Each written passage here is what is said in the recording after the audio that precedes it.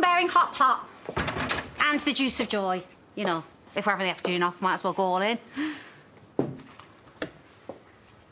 You're right, Debs.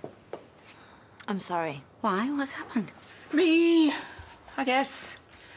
Brilliant! So you've got another monkey to join your circus of crazy to get at me. No, there's no need for insults. Why? You bring out the best ones in me. And you should know better. Sarah's suffering enough already. Right, okay, what's that got to do with you chucking me underneath the faith bus? Because when she gets home, it needs to be good.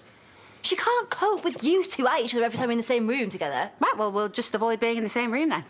Which will be a damn sight easier if you just returned home to hell. Cheeky cow, after everything I've done for my family, and yes, that's right, they are my family too. You see this? This is what I mean. Charles, you can't let her come home to this. Well, let's get it over with then. I'm here, I'm listening. Let's get on with it. Well, it's not really me that needs to talk, Chas. No? No. See, I've said I'm sorry for everything, but this is your chance. Your chance to get all your pain off that perky chest of yours. Me? Yes, love. All that built up blackness, the anger and blame, just let me have it. Let me have it and then just get it out. So when it's out, it's out. That'll be the end of it. Yes.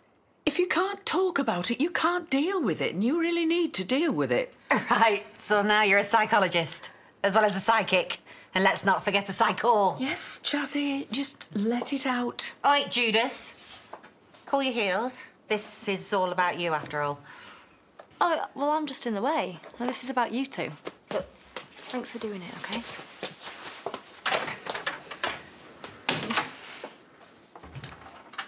Come on, get some of this down your neck and just let it out.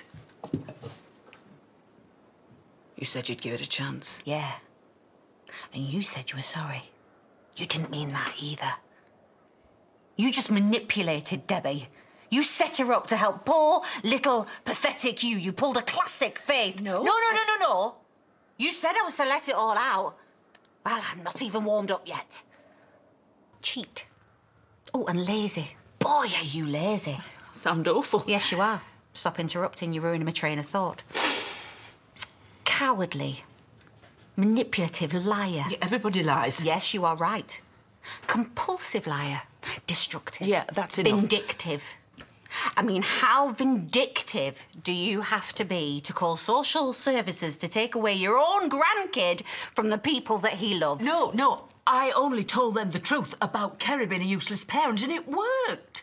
Cain finally became interested in being a dad, didn't he? And he's a good one. What would you know about proper parenting? Oh, here we go. I am not sticking around just to be attacked. Whoa, whoa, whoa, whoa, no, you wanted this. Runner, quitter. I know exactly what I am. The same as you. No way. We both left our kids. I didn't leave Aaron because things got bad. I left him because I thought he deserved better than me. Me too. Stop with the lies! You knew we were trapped with a violent drunk and we had nowhere to hide. You knew that we needed you, but you still left us. I thought that Aaron deserved better than me. I didn't know. How could you, though? Because if I'd have seen what a proper parent was, then I would have known that I could do it. I would have known that I was better than you. I would have taken him with me. I wouldn't have left him there with that. You made me leave him with Gordon. You!